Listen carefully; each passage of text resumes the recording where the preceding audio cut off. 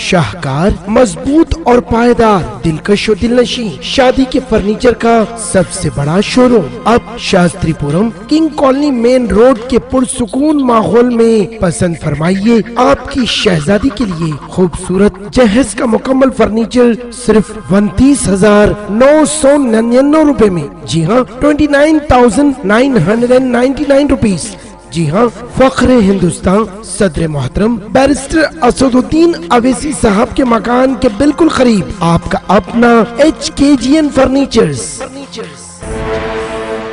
nine six one eight six five zero eight two seven.